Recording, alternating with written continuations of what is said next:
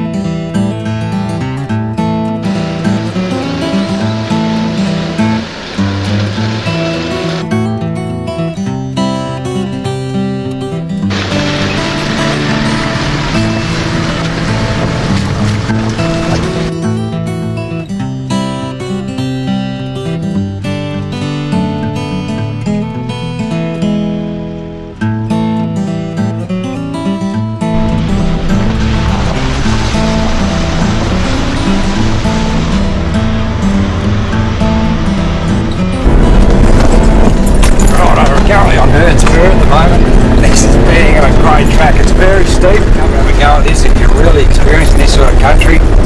It's better to get yourself in a lot of trouble on these sort of tracks if you don't know what you're doing. And uh, especially if you haven't got the vehicle set up for this sort of terrain. Now, my tyre pressure's down about 20 psi, so it's working really, really well.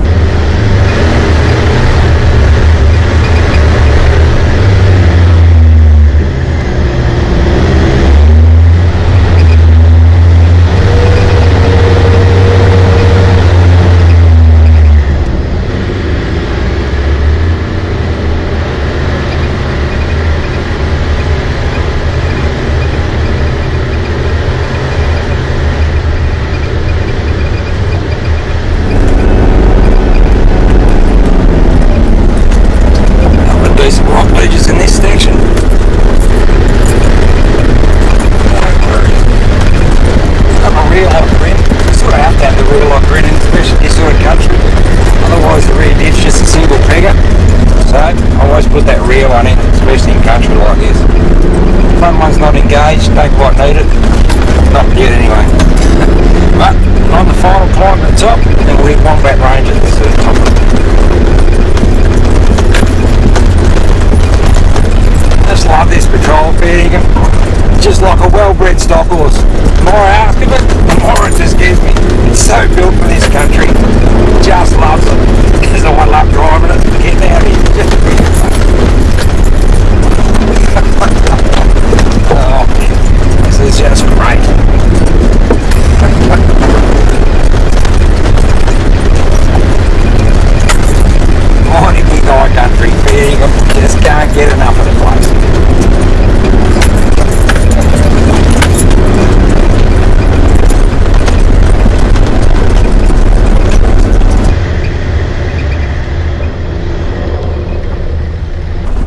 just driven up Hern Spur, got to the top of that feeding, and that is one fun track feeding, it really is. But make sure, as I said, have a well set up vehicle before you take it on, and a bucket load of off-road experience, because it is one steep track for this area. But, stack of fun, we're up the top now, heading along Wombat Range, it's just a cruisy run through. Till we meet up with Cynthia Range Track, we might take that all the way through to Dargo, but uh, that's where we're heading for, maybe get there about lunchtime.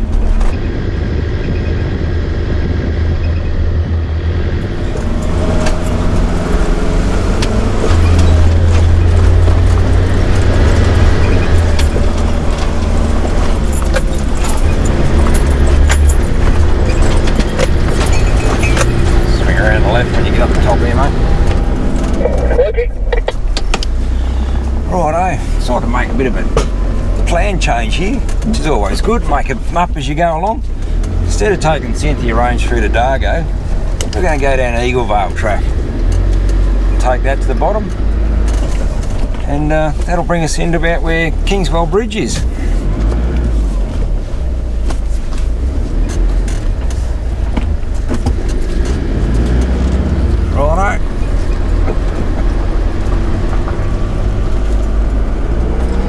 Eagle Vale track it is. We're going this way.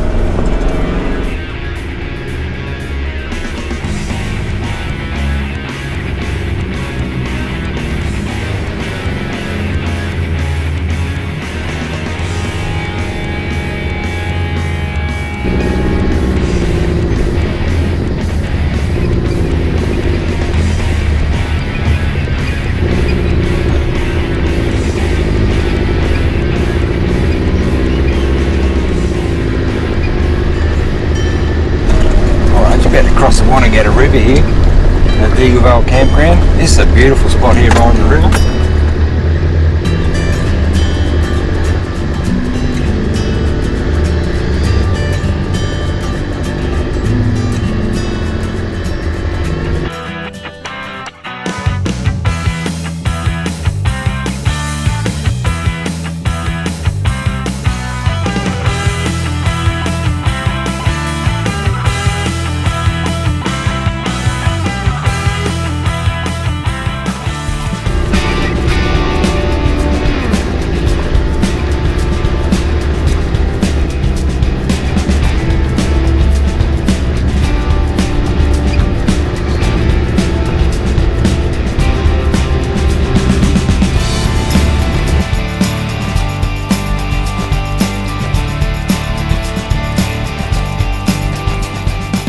Thanks for watching and we'll see you guys on another one of Tim Bates Full Drive Adventures.